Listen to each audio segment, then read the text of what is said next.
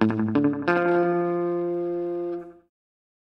and welcome to another episode of Tom Ray's Art Podcast. I'm Tom. On today's show, I meet a fascinating person who's right now living in Canada, but finding out during the discussion, born and raised in Russia, moved to Canada, was going to move to the US, started a whole business, fashion designing business.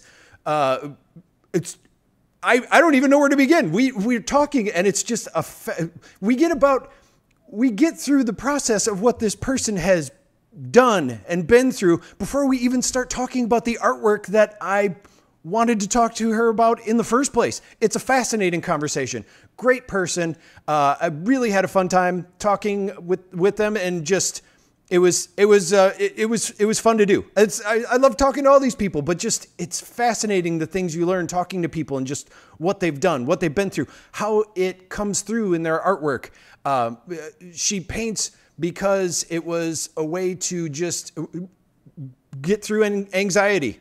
And what I said there was uh, even I said it kind of anxiously. It's it's a great conversation. Really had fun talking to this person. Was glad that I got to meet them. So here's my interview with Julia Hacker starting right now.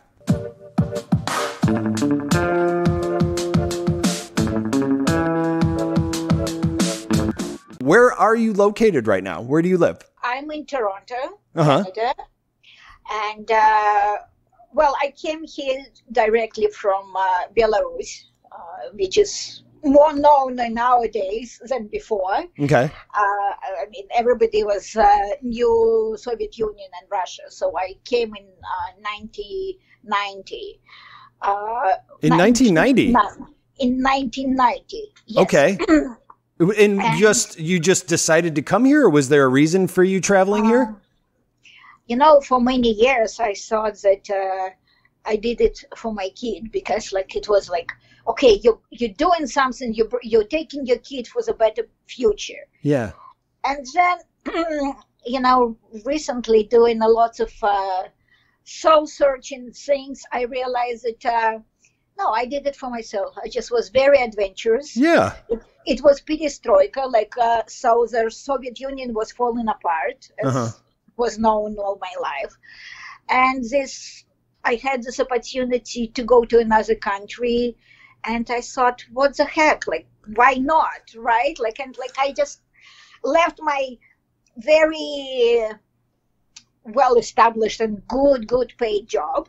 Okay and but i thought like no but i need adventure in my life i need freedom i need to experience and uh, that's how i end up uh, in in toronto okay so uh, yeah that's uh, and f- from that point then 10 years later after uh, being in toronto i met my husband to be and uh, married a man that third generation Canadian. Yeah.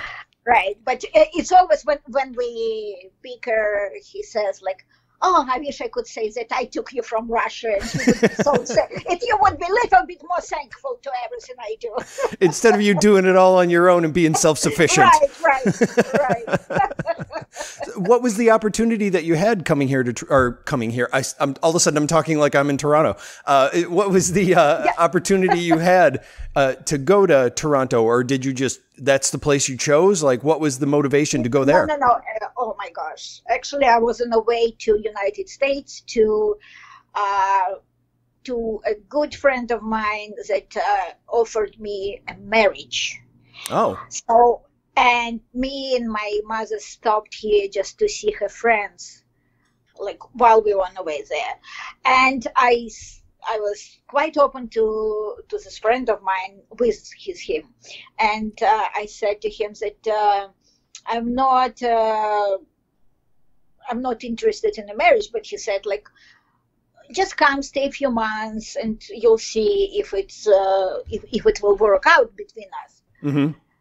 But then when we landed in Toronto and stayed here for a few months, not a few months, for a month we stayed here Okay. All of a sudden, these uh, friends of ours, they said like there is opportunity of working visa, and uh, I and they found me a lawyer and so on. And I thought, I would rather do it on my own, not again through promises, through like uh, you know I would feel bad. He has his hopes. I I'm not sure. So it was much better and more mm, open. Uh, like about okay, I'm getting visa, I'm staying here, and if it's a fate, we'll Yeah. meet. Well, guy never spoke to me again. so apparently it wasn't fate. It wasn't fate. Yeah, not even as a friend. yeah. yes. So. Oh, wow. so things happened. Oh man, were you? Did you? uh Did you start out doing artwork there? I know. So I've seen some of your bio, and I know that there it was. Uh, you had mentioned that you were actually a fashion designer for a little while. Right.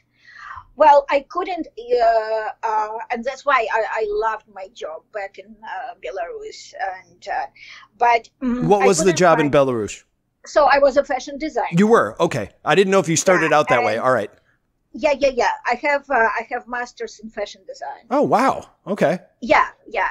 So I was a fashion designer, and I was uh, um, I was uh, working at our like uh, because at that time it was still Soviet Union. So hmm under the guide, guidance of one like fashion center was like many factories that will produce uh, uh, garments. Okay. So uh, I was like, Be- Belarus at that point was about probably 15 million people. So, but all fashion was uh, design was developed in one place. Really? Okay. Yeah. So it was like about uh, uh, 15, 20 people uh, working. hmm And so we all, we all had like I was working with uh, kids clothes and women clothes, but somebody would be working on uh, uh, on men clothes. Somebody would be working on uh, um, outdoor attire. Like uh, Okay. so, uh, we all had our own line of clothes to be responsible. But I would do everything from nightgown to wedding uh, dress. Like so, it was like wow, right? And then uh, and then uh, those factories that do, do because it, it was for everybody. Like the produce had to be sold in our stores and uh, available for public. Okay. So, uh, and uh, understanding of boutique store or designer label was not uh, done at that point. hmm So, um, but be- besides this job, I had uh, I was running uh, a spread in a fashion magazine, like for teenagers, and Oh. like uh, doing like uh, what's fashionable this year, how Mhm. how to take a piece of denim, how to rub it, how to uh, do uh, distress with it, and, Yeah. and what what kind of uh, uh, ideas you can do with this. And also, I was developing um, um, outfit, not outfits, but like uh, uh, stage costumes for opera singers, for pop singers. So I, I was like very busy. I loved what I did. Mhm. And so it's not a joke when I'm saying I left a very cool uh, job, like job of my dream, like I and money were really good as well. So when I left it, it's not a joke of. Uh, I'm not embellishing it. Right. I left Yeah. it great. Yes, it was very very satisfactory, but um, at the same time, uh, living uh, with so much censorship, with uh, there is certain also in terms of relationship between uh, uh, men and women, uh, Mhm. be, like there, it, there is so many little and not so little triggers that tells you go you have to experience the world you have to experience different understanding how how world uh, works you know Yeah. it's not only about like just money let's say or Right. being uh, so and uh, when i came to canada and i said to myself okay it's like a clean slate. Nobody knows me here right? I didn't have any friends. I Mhm. just like my, my parents uh, had friends. But nobody knew me. And i said like so i can be whatever i want to be. Like no childhood luggage, Right. nothing, right? And so, and not, I'm now, I'm not Julia, but I'm Julia. And it's somebody that nobody knows, and even I don't know myself yet. So let's live. right. So what? Right. So what did you choose to uh, when when you decided that? I mean, that's Uh-huh. that's a, a. I feel like that's an opportunity not a lot of us get. What was the uh, the sort of? I, I'm trying to think of the word, but like, what was the the path? I guess that you chose. What was the what was the change that you decided to take over? okay, uh, uh, you know, sometimes people do things because uh, it's courage, and sometimes because they're just stupid. Okay. I don't know. I like that quote. uh, but um, so when I came over, I uh, I went to to study English at the and take took English as a second language, Okay. obviously, to immerse myself. And then my first job was I was uh, at the co-check at the Pantages Theater. And Oh, at that time, they played Phantom of the Opera nice. and uh, but I knew that I need to immerse myself with English-speaking people. Like I somehow intuitively I knew I have to move away from Russian community because it's very uh, those communities and ethnic communities when you as an immigrant arrive to country to another country Yeah.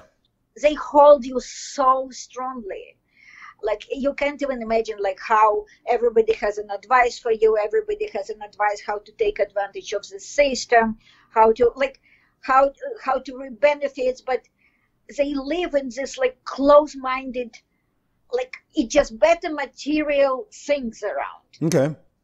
all right because in russia even you if you had money you couldn't really buy much. Like let's say i could never buy a car because it was not available. Like, hmm not because I not because I couldn't collect money for it, but I just it was not available.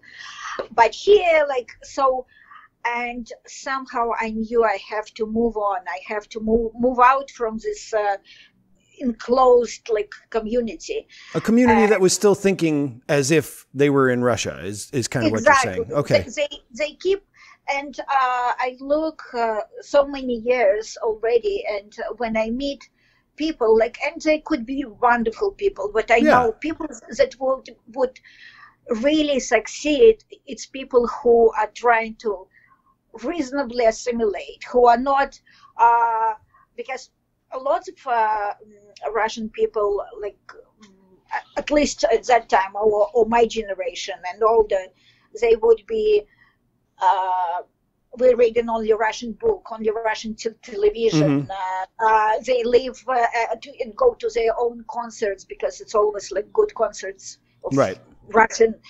And uh, for me, I thought that okay, I came to another country to find out what is it all about, right? So Mhm. I would just uh, take the subway, get out on uh, at the stop, and go for hours on the main street, just wandering around, looking around. Even when I didn't know one soul, like Yeah. I still I wanted to wander and absorb and see how people behave, how they're dressed, how uh, what's the interaction, what how do I hear English differently than at school. So um, I think that uh, being a dreamer kind of helped. Yeah.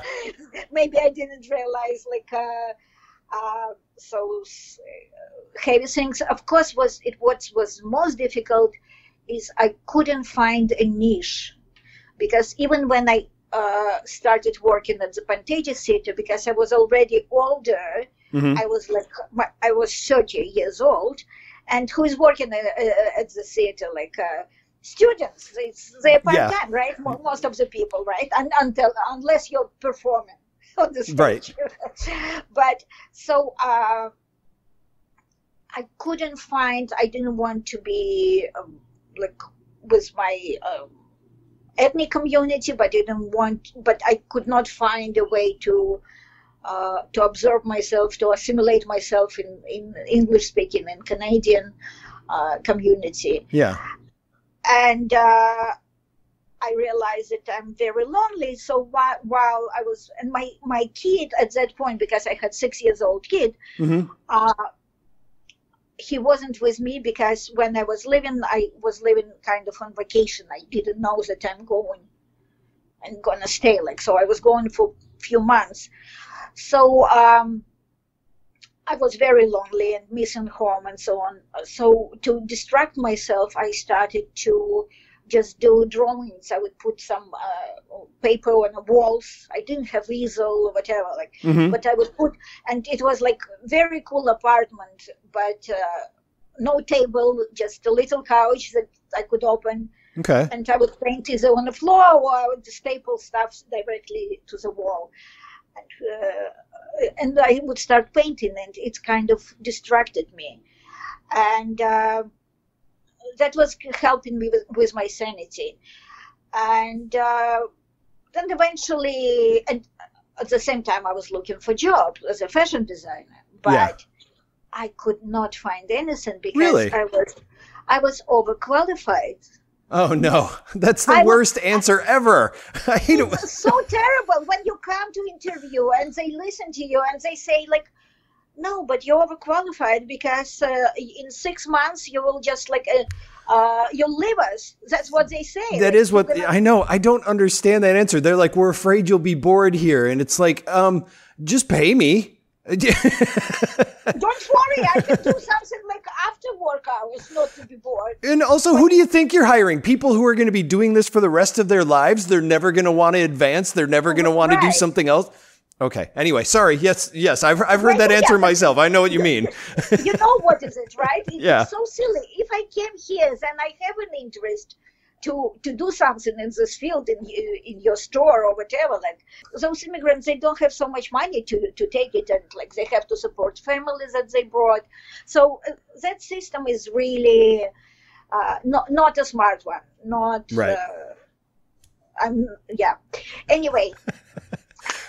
yeah, now, now I'm a big. I, I know. That's I know. We we obviously have a, have a par- problem with that part. But yes, so you so you Yes. just started looking for fashion jobs. Yes, back to that. right so yeah uh, wasn't successful then uh, quite fast found a job as a uh, as a co-check and uh, Mhm. usher in uh, in the theaters and they transferred me to to boutique uh, uh, to the boutique store Oh. to do sales so uh, and while I was doing that I realized that uh, I really want to paint and um, Ah, and I also went to, like, I applied to the Ministry of Education. I wanted to see if I can go and take some courses or some schooling. Oh, okay. And but when I submitted all my documents and all my credentials from university, from my previous university, right? Mhm. They said they said you have equivalent of masters in fashion design here. Oh, Like,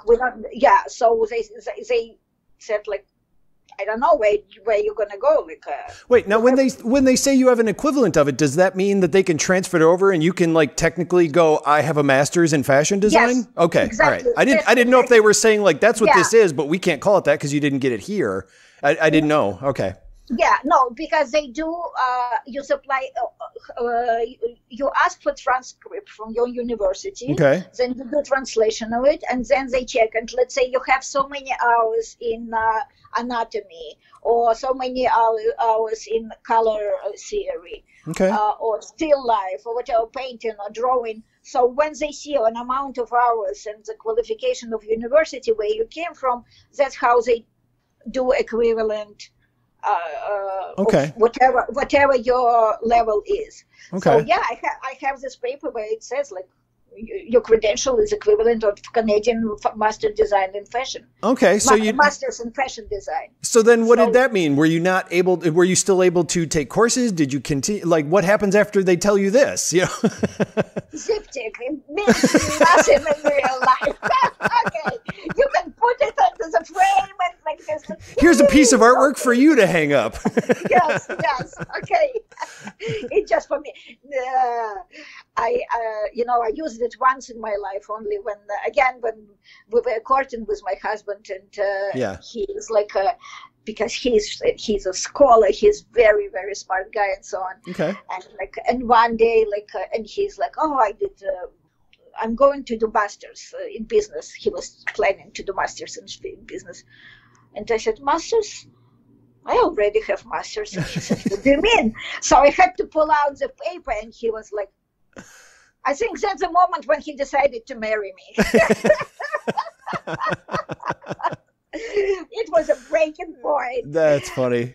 Uh, so uh, anyway, it did nothing really. As I said, not, it did not help. But yeah.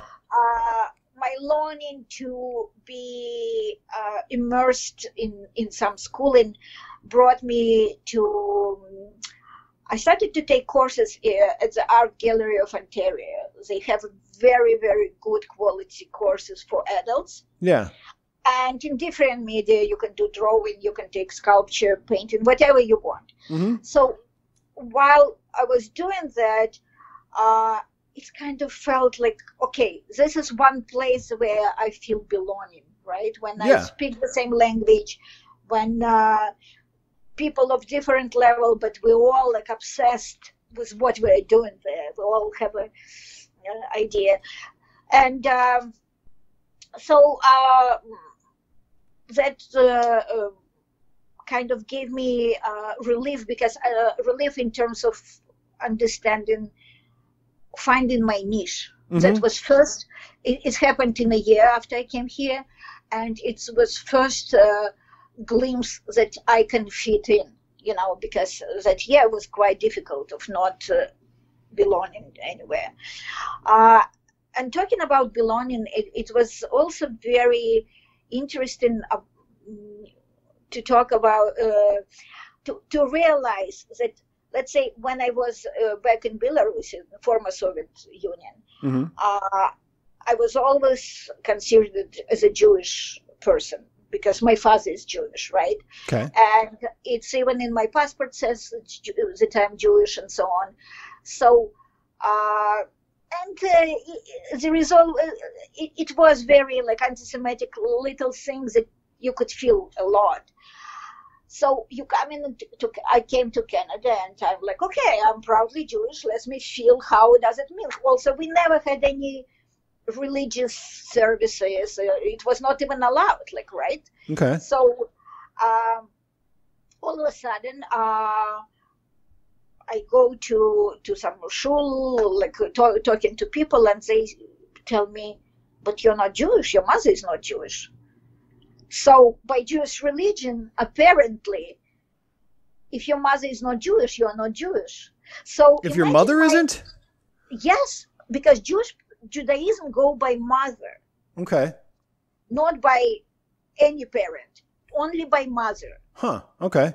Because, uh, well, historically, Jewish women were raped and like uh, whatever. So they, they, that's how they. It, it was not known who is the father of, of of kids. So that's how they established this tradition. Okay.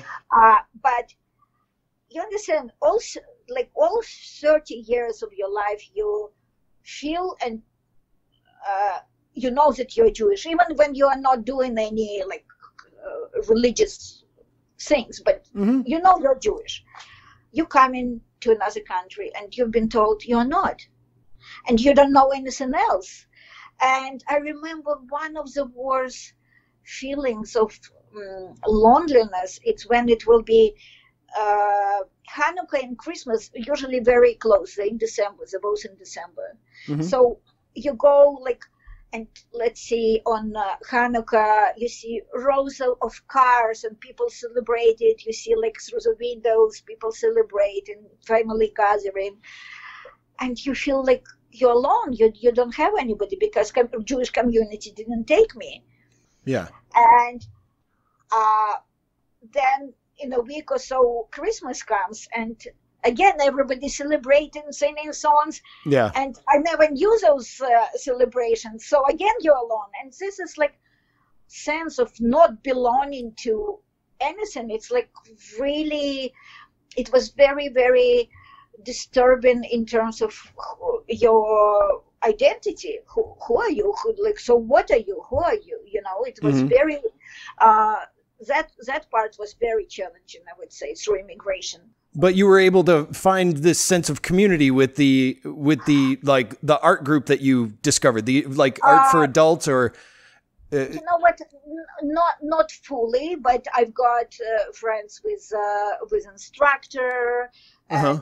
uh, so so i started to communicate but it was not like uh, a personal friends like relationships that i would go to her place she would go to my place okay, yeah.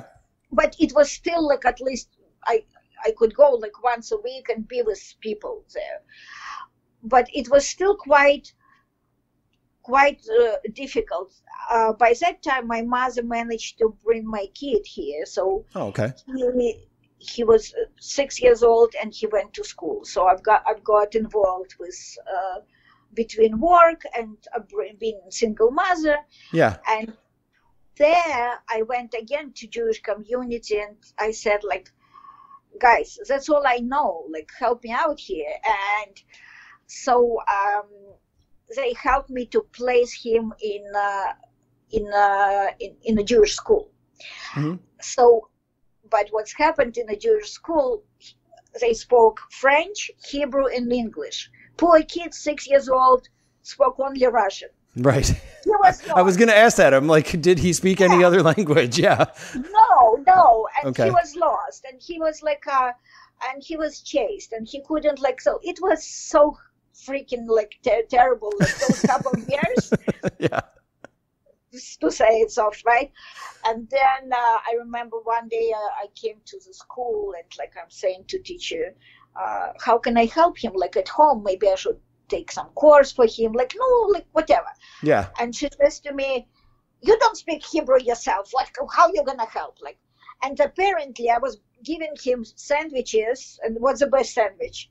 Meat and cheese, right? Mm-hmm. Right. Good sandwich. Not a bad sandwich. And, uh, and they will take the sandwich and throw it away. Oh And no. for six for six months, I couldn't. He would come and cry and say like they took away his food, and teachers threw it in the garbage, and like Wait, I the was teacher was doing this? yes, teacher, teacher. I thought you were saying like some dumb kids were doing it. Apparently, like a few months later, I found, when I went and uh, because I didn't believe him, and when I talked to her, and she said, "But your uh, sandwiches are not kosher." Oh, And- okay. I got you. And uh, what kind of Jewish person I was, I didn't even know what's kosher. Right. Okay, so because we were not really like it was a mess. It was a mess. So, but what was a kind of sanity that I was painting a little bit by little bit. I was painting, Yeah. and uh, then uh, uh, for a while I was bringing. I I left the Pantages Theater and I started a business. I was bringing students from Russia to study in to study English in the university. Oh, yeah. Like the, so I was do, dealing with this. Like I was a mama for like all of a sudden 15 kids, like ages You were- between. You were filling, yeah, you were filling the gap that was there when you first came over because these people would come over and you were, oh yeah, that's fantastic. yeah so, yeah so uh that that was really good uh, good like i mean uh, uh be, being with people that want want communication and like and studying and like that was a good part that was a, quite a good business until uh Russians discover ways to send their kids to much closer places like Hmm. England and Switzerland and so on. So, but for for a few years there, I was like uh, feeding my family from this, Okay. um, and uh, then I decided to open uh, a little uh, store that I would be making clothes, making my own designer line. Okay. I, by this time I found like uh, people that could uh, do patterns uh, and so on. And um, I also thought I will bring uh, some clothes from Italy, like because I was in my soul I was a fashion designer, so Yeah. I was doing everything related to this. And what's uh, I remember how I went to Italy uh, like this vocabulary, this dictionary, I've learned like how to count till 10 because I needed to bargain, right? Like, Right. My, my point is to bargain. and then I think, how would I find anybody where they sell clothes, where they sell wholesale? So I went, I saw a modeling agency. hmm And so I went to modeling agency and I said to myself, this is people who know where to get clothes, right? Like modeling, fashion design. So, and that's how they gave me a few connections, few. And uh, for a while I was bringing uh, clothes from Italy and like uh, that was Wow. the whole new game of fun and uh, and uh, it was my broken broken Italian. They called me like that I'm a surgeon because I was bargaining so hard. Like, oh, that that was fun. Um, and by that time, I already I, I met my husband to be, hmm and um, so uh, between the store, uh, running my own little collection. But what was very disappointing with uh, my own label, again because my store was in Russian area, hmm what what they would do, they would they love what we made, like uh, the sewing process, design, everything. But at the end, they would bring me dress, old dress where it would say like Versace or some designer, right?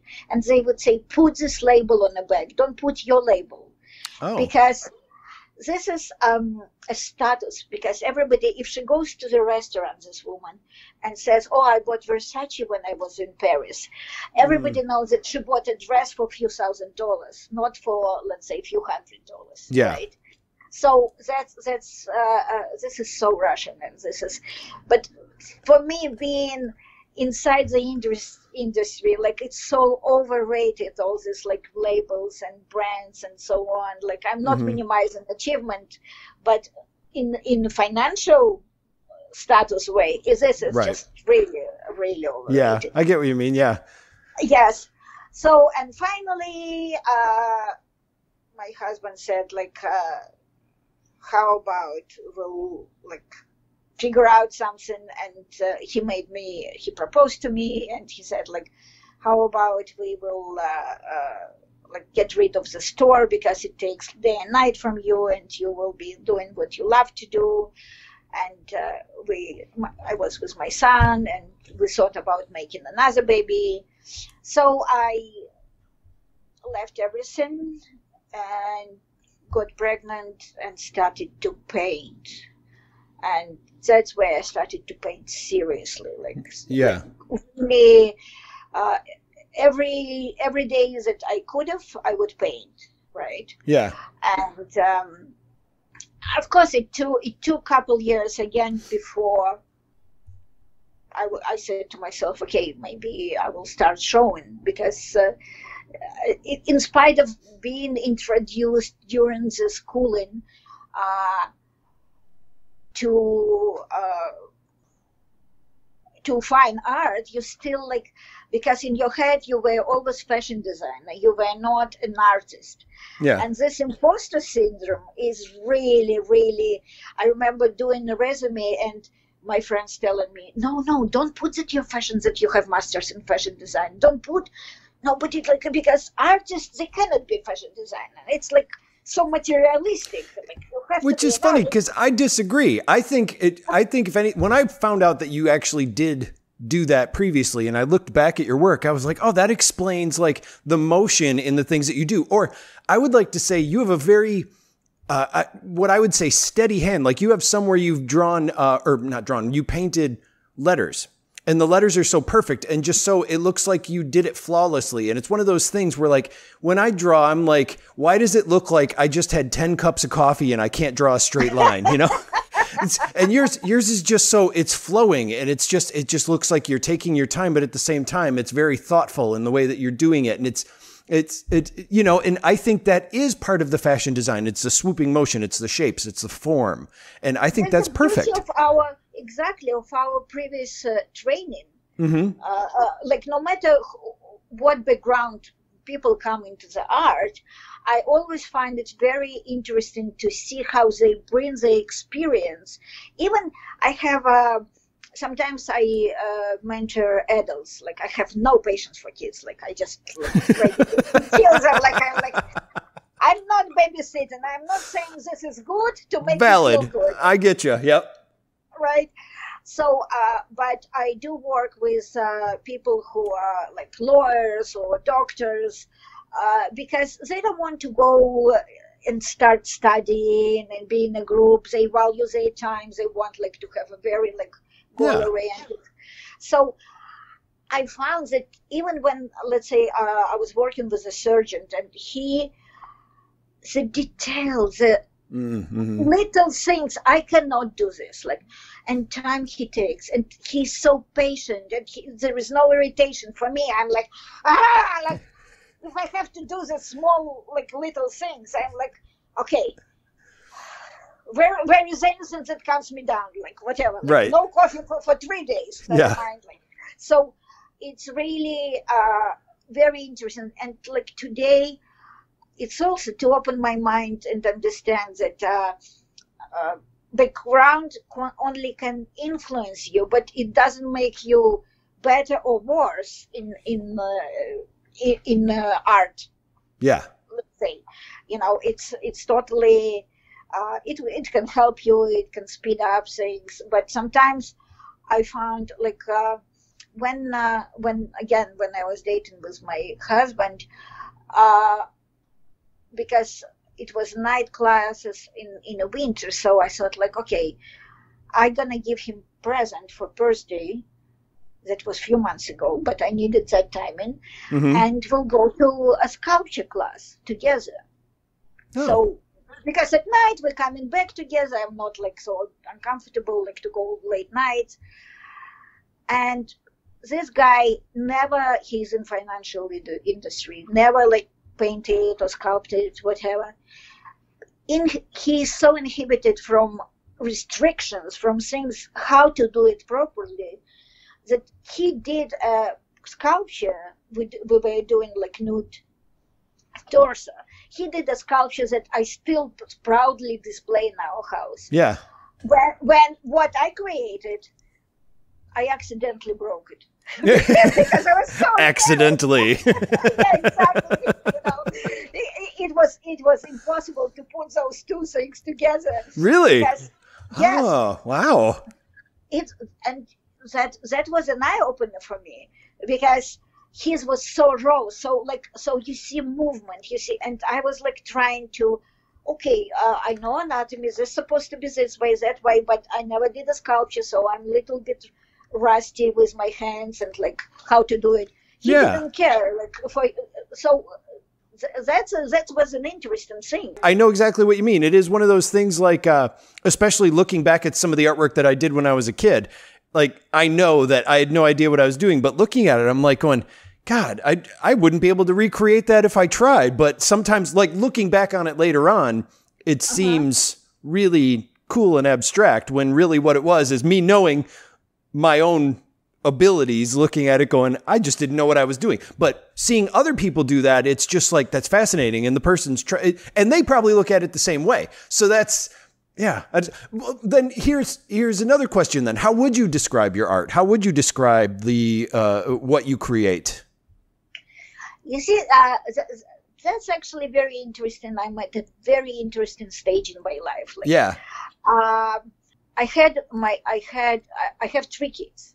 So my youngest daughter is 18 years old. So I had her very late. hmm And uh, before I had so I had two boys and my husband in the house, three guys. And whenever I would try to put something, uh, I don't know, like flowers or flo- flo- floating like drapery, they would always say, "Do you know who lives here? We, we guys live here." And I would be always like, "No, "Yes, what what I am with my flowers," and kind of very given into this, right? Yep. Like okay and then I was like probably 40 or maybe 45. I wake up on my birthday and I think like, pardon my French, I'm like, it. yeah I want my flowers and I'll have my flowers. I don't care who else live here. So, you know what? aging gave me freedom actually Okay. and that's and slowly slowly i started to move from uh, even even uh, uh, i did landscapes let's say for longest time but i started to move it less timidly and i started to go like uh, uh, just about three years ago at some point i left easel and like precise uh, uh, bo- precise canvas right? When you know hmm the composition uh, ahead of the time you understand it. And i took just huge canvas stapled it to the Yeah. wall. And i just went at it and i didn't know what will be composition. I just know i will cut the canvas the way i want at the end. So hmm this non-restriction not knowing uh, not saying to yourself ahead of the time boundaries or composition because when you have a freedom and you can go you can start with one place it will bring you to certain composition just trusting Yeah. yeah, Yeah, well, I uh, no, right. th- that's what I was going to say. I, I, you just raised a question to uh, to me. It's now you created this big canvas, and I'm wondering, like, a lot of the time, mapping out work, and, and you're saying you did it freely. Like, are you saying you just put it up and you just start going? Do you have an image in your head? Do you have a sketch you're working from, or nothing? You just go with it. I, ne- I never sketch one artwork in my life Okay. I, I, I, I, I tried, but then I get so bored to repeat it on the thing that I will end up doing anything else, something else anyway. Like Okay. I would not, I, and maybe, and even uh, when you know how really at good school you have to copy. They say at least that you have to copy art uh, like uh, masters Yeah. and sense of composition, sense of color. I would start doing this, but somewhere like one third of the way, I get like, what I'm doing. Yeah. Like you get No, bored. no. You're like, why? Why am I doing this? So Yeah. bored, and like, uh, so I would, I would just, I, I might live up to that point, but then I develop my own thing, and um, I, I just, uh, I've been very lucky that I always allowed my intuition to go with this. It doesn't mean that I would not sit and try to do detail work Mm-hmm. it doesn't mean at all i and i would take hours and i would get inspired with some somebody like uh, with a painting color scheme but so i see inspiration all around me i'm not dismissing it i'm not saying that i like Right. i have this with it. but when i paint uh no matter what i paint even if it's like just uh uh something based on nature or something like more abstract abstract I do not have idea what I will end up. Okay. Even color, I might feel okay. I, I, I feel like blue. I feel like something blue, right? Yeah. But it mi- it might end up being more like uh, totally not the blue that I imagined at the beginning, Right?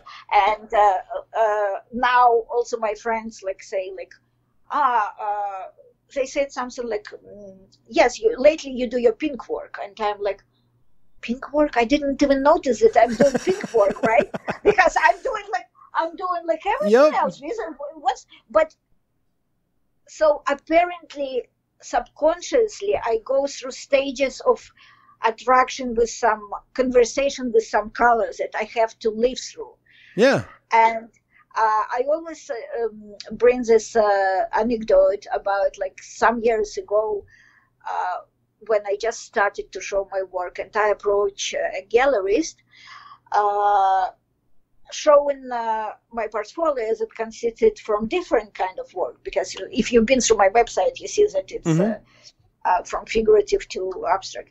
Yeah. And he said to me, Well, this is not right. This is art- artistic schizophrenia, what I'm doing, because I'm all over the place. I'm well, at that point I was I was thinking, huh, what does it mean? But you know what uh, uh, first of all I I have to admit about myself that failures really hurt, but I every time I kind of what can I do to prove to myself that I, I, I can do, I can achieve something. Mm-hmm. And now I started to understand why sometimes it's a failure because of just person doesn't click with you or whatever. Mm-hmm. But the point is that because I was painting so much and almost every day, I started to develop just different collections. And so mm-hmm. eventually, by the creating of the website, I was able to say, okay, I have 20 works in this direction, and then I have 20 works. You were able to organize them. I was able just to organize, but on a on a monthly thing, I can go, I can do like two artworks in uh, totally one direction, and then next month it could be totally different direction, or, uh, or how, I can do a collage. How many how many pieces of artwork do you create on average? It's it sounds like you're saying you create at least once or twice a month, maybe even more. I'm a rabbit. Oh, I'm really? wow. Okay. I, I do yes. see that there's there is a lot. I mean, you do have a lot of work, and I didn't know over how much of a period of time this is. Plus, right. it looks like. Oh, here's a question I wanted to ask you too. So there's a, and it's because you work in the larger scale. I, am almost just as jealous of some of the placements of like you have pictures of your stuff in a setting where it's like on this big beautiful wall around like all this modern furniture and stuff. Now, are you actually getting those photos there, or is this some sort of like uh, no, photo? This is an app. This is an app. You pay for the service. Okay, that's what I was gonna say. I'm like, or is it yeah, an app? Okay, yeah. okay, good. I, I, no, no, no. Like, uh, I, it, it, the problem is not the problem that I don't have those spaces to put it on. Right. The problem to carry it, to bring it on. Yes. Because it doesn't fit in the car. I actually, when I uh, when I sell artwork somewhere locally, uh, I always uh, because I stretch canvas myself, so I bring it in a roll and then I set up uh, framing, and I do it right oh. in the person's place. So uh, huh. okay, huge work I, because I've learned how to do it, and for me, it's a part of. Uh, no, that makes total sense. Yeah, like it, it, you set it up there. That's oh my god, right. that's so much easier to travel because if you're built, okay, yeah, I never, yeah, I never thought of that. It's one of those things where it's like, duh, it's it makes so much sense.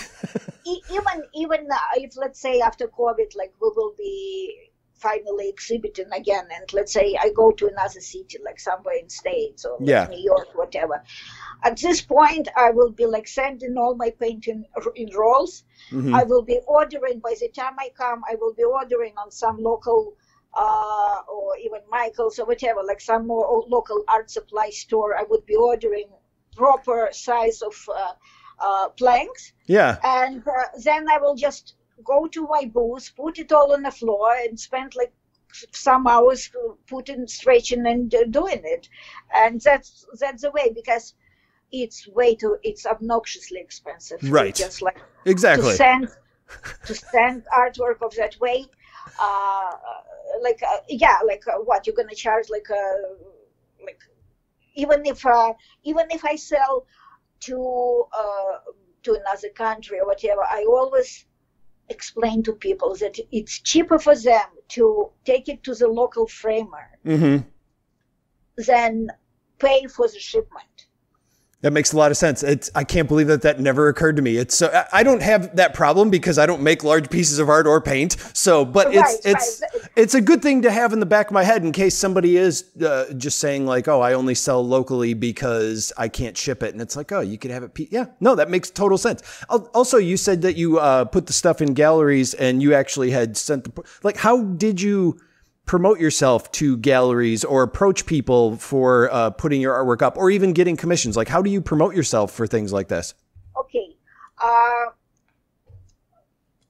well, lo- locally, uh, I exhibit in uh, uh, in the largest art fair in Toronto. Like it's Canadian, uh, the biggest Canadian art fair, and it's called the Artist Project. It runs every year in February and uh, so we there we just come and hang our stuff uh, like walls provided lights provided. Yeah. But it's uh, it's, it's very costly. But because i don't do small uh, exhibitions because of the size of my work it's difficult for me to participate in outdoor exhibition okay right? Because uh, I, I, tried, but then when wind is going and like my it's my just gonna flop over, flopping, and everybody else and like the whole community of artists, like then it's domino effect. Like I had this, and everybody hated me. Suddenly, so yours is like an obstacle course, and people are trying to get out of the way. Right, right. Everybody's screaming, running.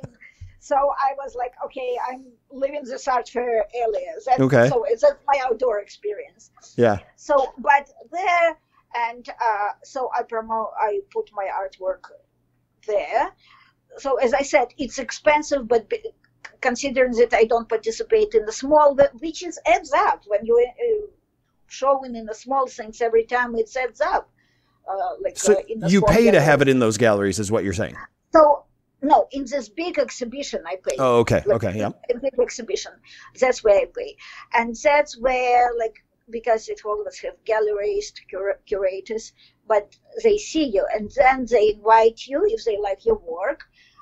They invite you, and that's there. You don't pay for exhibiting in a gallery. Okay. Then uh, it's commission. Uh, I mean, you split uh, uh sale uh, sales. You just split like usually it's 40 60 or 50 50. Okay. Like, uh, but I find out that I have more I would say, success with online galleries. Yeah. you're in a virtual online one right now, the Rave or. Yes, or, okay. right, right. But it's a mind boggling because when some years ago I put my work on Saatchi, uh-huh. I thought, like, how would one, like, ever buy an artwork that you never saw? Like, you don't see textures. Like, it's, it, for me, it's mind boggling. Yeah.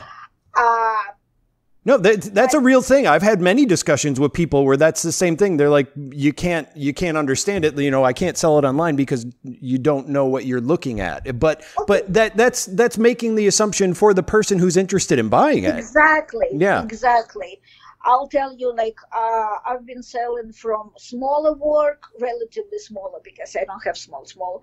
But let's say from, yeah, I don't know. Like Your small work is like most most people's large work. Yes. Okay. yeah, yeah, I know, I know. It's, it's but th- that's actually uh, an obstacle for me to participate in many art shows because there is always a limit. Like, right? They want, like, let's say, 36 by 36, the biggest, mm-hmm. the largest piece, because they want to take money from so many artists and put so many artists like they need to fill up wall with 15 artists yeah. right? And julia comes and takes spot of five not not making sense for them. So but um, what what i realized that first of all people have an option when you do it with reputable uh, online gallery people always have an option when they receive artwork they look at it and they uh, always have like seven days or whatever to say no it doesn't work for us or it does. So until it's always this waiting period but people do have a chance to say yes or no to your artwork. Yeah exactly. So uh, that, and that's a, a solution really uh, on top of it, with, with years, especially now, like all online galleries, they're asking for additional shots, so you can do a very, very up close shot. Oh, definitely, yeah. Many, many of them started to ask about video, like right, so you go with the video very close to to the surface, or even if a potential collector says like, I'm not sure about that side, like right, left corner, like can you mm-hmm. bring show me? So you you do this, so it's actually really and I love it. I for me it's yeah. the best. Uh, because first of all, I don't have to schlep anything anywhere. The only thing I roll my stuff. I have a sp- special tubes. yeah. I just love the way you said it. I don't have to schlep anything anywhere. yeah, yeah, right. Like I don't have to set up any displays or whatever. Right. And uh, uh, I've been uh, and you can present it exactly the way you want you know exactly. with those with those uh, uh, people saying we want a close up of this or of that or a video of it. It's like yeah and that in itself becomes kind of putting your work in a gallery where you go okay the lighting has to be just this way so people see yes. it that way. But if they're standing over here they don't see it that way. And if they're here it's like nope here's the position where you can look at it and you can move this way or you can watch a video of it going closer. You can do anything. And yeah it's exactly if, if anything, it's way more of a perfect art showing than any other setting. For me, for sure. On top of it, uh, sometimes uh, when people come like to the gallery, right? Yeah. Uh, they could be affected. Okay, they came and the, at the door they saw artwork that was like, let's say, so mellow and so relaxed and so like in the soft colors Yeah. and it made them feel good then they come across my wild like colorful thing and it looks almost tacky for them because it, it just, they haven't just- been able to cleanse their palate yet. right Yeah. exactly yeah. exactly so uh, you you influenced by other uh, external factors Hmm. when you show in a gallery right or somebody stands in front of your work they people didn't see they passed by like anyway like uh, uh, of course uh, I'm, I'm totally fine to work with galleries Oh yeah. No, I'm not saying Yes, you're going heck with galleries. No, no, no. no, no, no, no. But uh, uh, on top of it, I found better success with collectors overseas and in the United States and in Canada. Yeah. That's very interesting for me. Yeah. Like I'm still like wondering like why the heck it is. Like I have artwork in uh, Belgium, in uh, France, and like Wow. like just name it, right? Yeah. uh, I can't even tell you how many cities and states, but Canadian, I, I have very little work sold to local uh, Canadian uh, collectors. That's very a, little. and that's fantastic. That's I mean, nothing yeah, wrong with that whatsoever. That's I mean Yeah, that's yeah, that's the idea.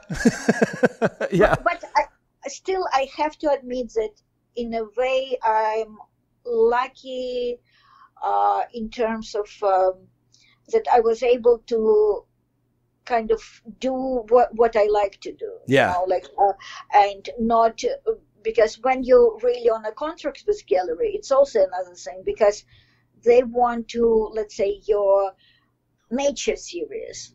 They don't want an abstract because it's totally different niche of the clientele. So when they cater you, they, because their business models, they have to survive. Yeah. When they cater your work to a certain clientele, and then you say like, "I'm bored, I want to paint like this now." They like so it. Uh, I've been very lucky this way that I've been able to to do my, my work, and uh, I'm very humble about it. Like it's uh, seriously, Yeah. and uh, but another thing, like I have an explanation why I am so uh, fruitile. Okay. because um, uh, painting really uh, gives me a subtle, different mental state. And uh, I'm prone to anxieties. I like I, I'm actually on medication from anxieties, and Okay. like I've been through different stuff.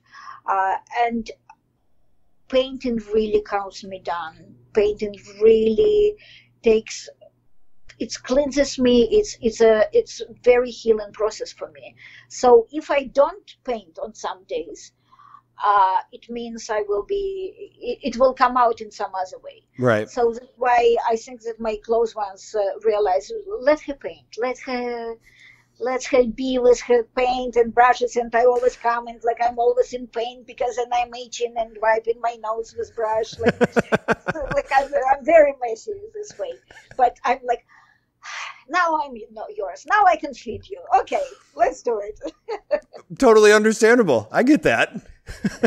right right Oh man. And so if people wanted to check out your work, again going with the online thing, now that we've done this, where would you say that they should go? Okay, so at this point, uh, uh, Saatchi Art, S A A T C H I, Okay. Saatchi Art. Okay. It's, it's, it's actually the biggest online gallery. Okay. Gotcha. Uh, then Singulart, they're based in France. And uh, UGallery, Okay. I think they're in Los, uh, Los Angeles, something on California side. Uh, well, Rave, Redwood uh, Art Group, like even after Rave is finished, like they still have their online store. Mm-hmm. That's the one that I saw. Yep. Yes, yes. and uh, of course my website, my own website. I'm also on little other ones, but uh, just that's too much to. Uh, I think the easiest is to Google. You Google my name, and they all like it. All those galleries will come out. I can I can uh, attest to that. Yes, it is. I, I, I, when I was doing my research, you were very. It was very easy to find stuff about you, which is a great thing. So, but I want to thank you so much for talking with me. I'm so happy that I got to meet you. Such a pleasure. Me too.